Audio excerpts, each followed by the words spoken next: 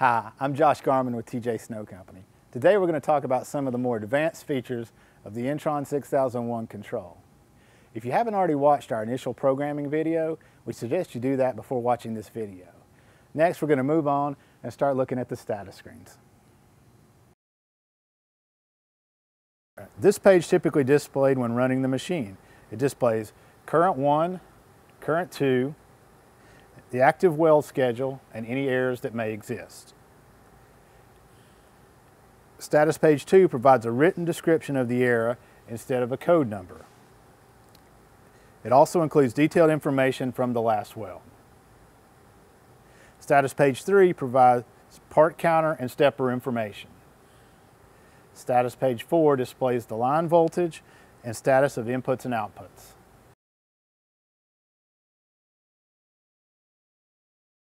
Now we'll talk about how to copy weld schedules.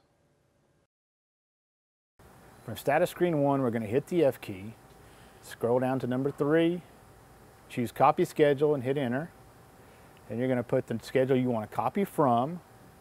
We'll say 1 here, hit enter. And we're going to copy it to schedule 2, hit enter. And now it's going to ask you to confirm it. You'll hit enter again. Now it says done, schedule has been copied. The next thing we'll cover is the built-in counter. So hit the F key to go to the main menu, then scroll down to setting number five, which is edit counter. The enter key, now you see you have a display for part count done, weld count done here. You want to enable the parts counter here, then set the maximum parts you want to count. This control has a unique feature and it allows you to count welds per part as well. So if you're doing multiple welds on one part, it's going to count those before incrementing the maximum part counter. Now let's make a few welds and watch it.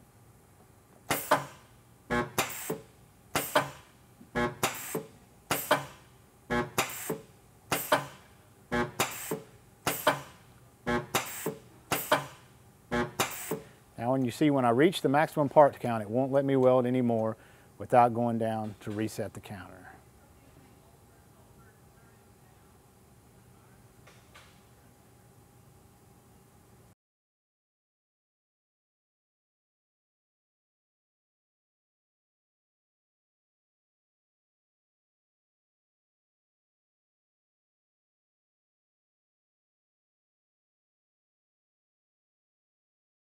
Now we will discuss how individual errors are handled.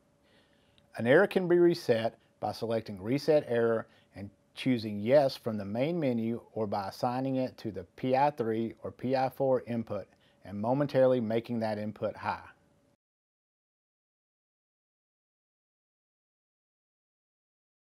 Now let's talk about how error conditions are handled. From the config menu, you can select how you want the control to react when an error occurs. The choices are continue, stop, or headlock. Potential safety issues need to be considered if headlock is selected.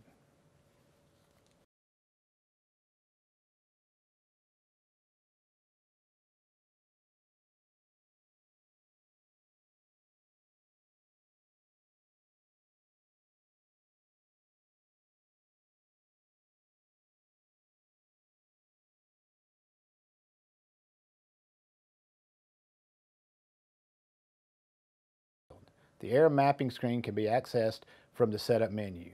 The error mapping screen allows you to assign each error as a major fault, minor fault, or none.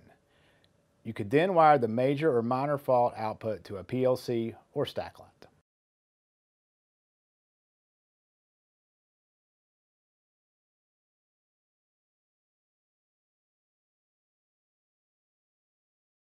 Now we will discuss how programmable inputs and outputs can be configured.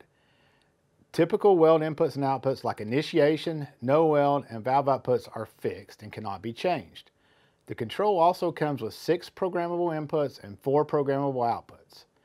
Each input or output has four to five choices that can be selected.